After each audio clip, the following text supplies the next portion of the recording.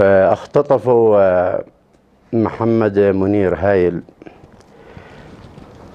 بحجة آه، كذب وزور وبهتان بأن أنه أخذ عليهم آه، شوقي محافظ تعز يعني سيارة مليانها زيبق أحمر. طبعا هم يسمعوا أن الزيبق الأحمر غالي. فقالوا خلاص سيارة ملانها زيبق أحمر. رغم لو في العالم بأسره ما بيحصلوا حملة سيارة زيبق أحمر. على كل حال نحن نؤكد بأن هذا زور وبهتان على آل هايل وأنه لا عندهم زيبق أحمر ولا عندهم والله مثقال ذرة للخاطفين. هذه شهادة نشهد بها أمام كل مسلم. يعني. نعم ها؟ على أي شيء اعتمدت به الكلام؟ يعني في أحد الخاطفين قال يعني تغلق علينا باب الحشيش. و ما عاد في معناه إلا وسيلة إلا نأخذ أبناء الأثرياء. يعني ابتزاز. للأسف الشديد. يعني هؤلاء آه لا عندهم دين شلة. لا عندهم دين لا عندهم أخلاق لا عندهم حياء على الإطلاق ولا تقدير لأحد. عملنا معهم بكل حيلة ووسيلة. مطالبهم يشتروا سيارتهم اللي فيها زيبك كما حسب قولهم أو آه، يعني أربعين مليون سعودي. يعني إذا وعدوا أخلفوا. نتفق أنهم على اتفاق يعني آه، ما يمشوا عليه. يعني حتى وصلنا طبعا وصل هناك عرض عليهم لأنهم مضطرين في سلامة الأخ محمد منير هايل آه، أجبرنا على أن نعرض عليهم أشياء. لأنه إذا حدث بيننا وبينهم قتال يعني نخشى أن يصيبه باذى فاضطرينا مثلا اضطر الشيخ أحمد حسين القرداعي إلى أن يقدم صالون 2011 لهم وكذلك الشيخ أحمد محمد القرداعي قدم سيارة آه، حبة 2013 أيضا الشيخ آه، خالد علي ناصر طريق آه، قدم لهم صالونه تقريبا 2007 أنا قد أنا عرضت لهم 20 مليون ريال من جيبي الخاص. وهم يجيبوا لنا محمد منير هايل سالم. وللأسف لم يزدهم ذلك إلا طمع. قالوا نحن نريد 40 مليون سعودي. فقلنا لهم آل هايل لو أنتم في ألف ريال يمني لن يعطوا. لأن آل هايل لو يعطوا شيء للمختطفين هذا يعني أنهم هدروا أموالهم وأولادهم للابتزازيين. ما لصالحهم ليس لصالحهم أبدا. أن يعطوا لأحد المختطفين ريال واحد على الإطلاق. لا يزالوا محاصرين. حتى لا يهربوا إلى مكان آخر. والله نحن سوف نواصل للنهاية بإذن الله رب العالمين. حتى يتم إطلاق سراح محمد منير هايل المفاوضات لا تزال مستمرة ولكن الخاطفين مصرين على 40 مليون ريال سعودي. وهذا لن. لن يتحقق لهم على الإطلاق. على الإطلاق. والله الإجراءات إحنا في حال فشل قد نضطر إلى استخدام القوة. وال... ذلك لن يؤثر على سلامة والله الحياة والموت بيد الله. لو اجتمعوا أهل الأرض على أن يضروا الأخ محمد منير بشيء لن يضروه إلا بشيء قد كتب الله له. هذا شيء بيد الله لأنه ما فيش أمامنا خيار. يا إما مثلا حتجيب لهم طلبهم وإذا حتجاب لهم طلبهم هذا يعني تشجيع ال- الخاطفين على الآل هايل وغيرهم من الآخرين. أو يعني نستخدم القوة ما في ما في غير ذلك.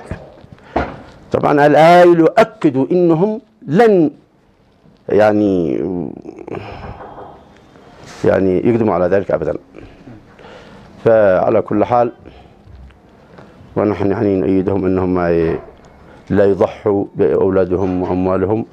للابتزازيين على الإطلاق. ولازم القضية هذه كلها يعني موقف حاسم بإذن الله. والضغط مستمر على هؤلاء وتم الضغط على طيب إخواننا يعني الجناح قبيلة الجناح بتوقيع ورقة بأنهم مهدرين دم هؤلاء الخاطفين ودم من والاهم. وقعوا على هذه الورقة. الدولة آه، نحن منتظرين منها موقف حاسم.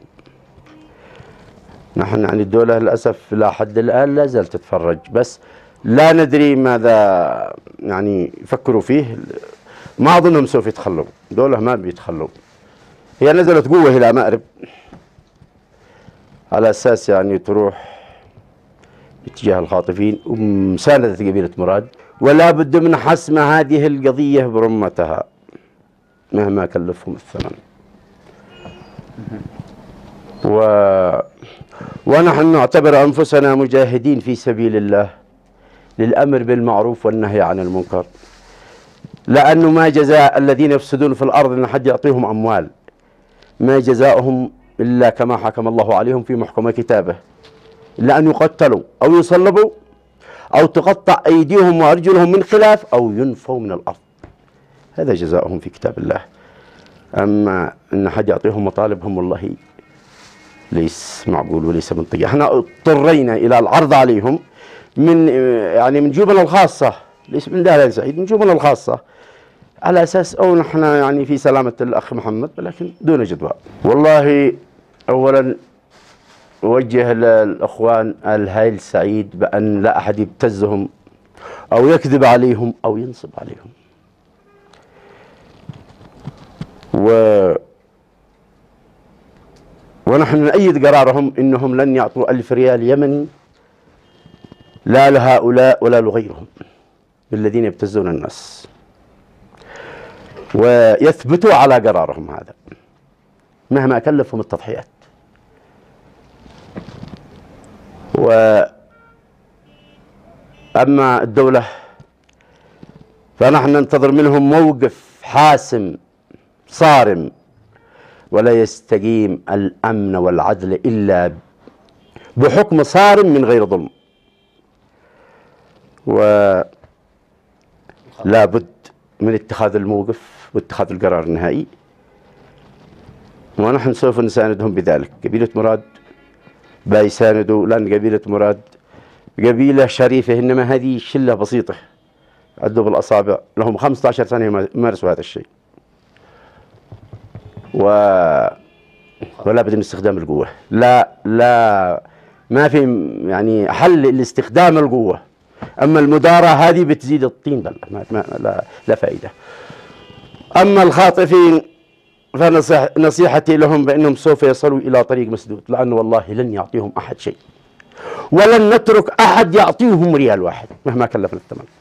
إحنا قد ضحينا باللي ضحينا به ما قبلوه خلاص. هذا الباب تغلق نهائيا. وسوف يتم استخدام القوة. ما في حل لهم. يريدوا أن يسلموا رؤوسهم. يسلمون محمد منير هايل سعيد سالما. معافى. هنا يسلموا رؤوسهم. ما لم الدولة بتتخذ إجراءاتها وأصحابهم ومراد بشكل عام. ضدهم. فما يقدروا يواجهوا دولة. وقبلها يستحيل هذا الكلام. الأخير بيصلوا إلى طريق مسدود وبيصلوا للنهاية ونحن نأكد ذلك الأيام بيننا بيصلوا إلى طريق مسدود. والله لن يربحوا من ذلك شيئا. لو استمرت القضية عشرين سنة.